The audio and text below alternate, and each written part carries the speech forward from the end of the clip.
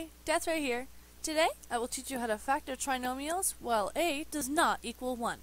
I apologize ahead of time for the murmuring and quiet voice, as I recorded most of this during class. Here we go. Our example equation is 10x squared plus 7x minus 3. To do this equation properly, we need to multiply together a and c, giving us d, a new variable. We learned from my previous video that to factor trinomials properly, we need to find two variables that multiply together to get c and add together to get b. In this case, however, c is actually d. c does not exist at the moment.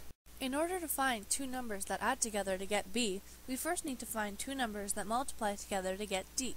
In this picture, those two numbers that are unknown are marked as variable 1 and variable 2. As you can see, I've easily found six combinations of two numbers that multiply together to get negative 30. What's left to do is to take those multiplication symbols and change them into addition symbols. As you can see, the first four combinations are no good, because the answers are negative 24, 24, negative 15, and 15. We need our answer to be positive 7 because the only equation that gives us positive 7 is the answer for addition and negative 30 is the answer for multiplication, our two numbers are negative 3 and positive 10. The next thing to do is fairly easy. You just separate the positive 7 into the positive 10 and negative 3, and making the equation as shown. The order of the separated numbers does not matter, as long as they are between a and c. I just put the 10 first, because it makes it easier when we are combining like terms.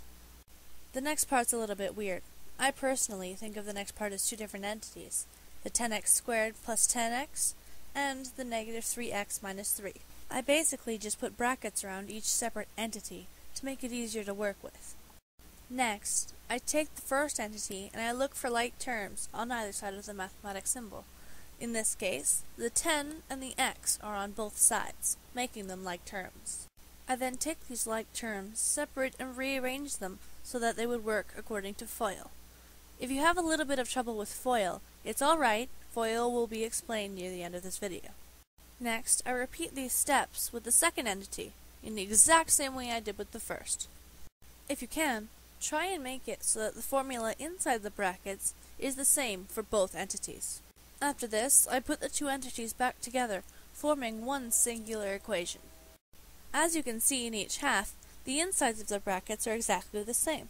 Therefore, we have more like terms that can be combined and separated. So combining this equation is a lot easier than before. You basically just follow what it says here. We have now reached the end of our equation, and this is your final answer. But, in case you thought you did it wrong, here's how to double check it. You use FOIL. F-O-I-L. Or, first, outer, inner, last. You simply rewrite the equations as shown in FOIL, and then answer them. I've made it color-coded so it's easier to understand. As you can see, the answers, 10x squared, negative 3x, 10x, and negative 3, should look a bit familiar. If you rearrange them, you're back to the equation after you separated the 7. The last step is now to recombine negative 3x and 10x back into the 7x. And voila, you've got your original question back. Well, there you go. This is how to solve trinomials where a does not equal 1. Hope you learned something. Deathray out.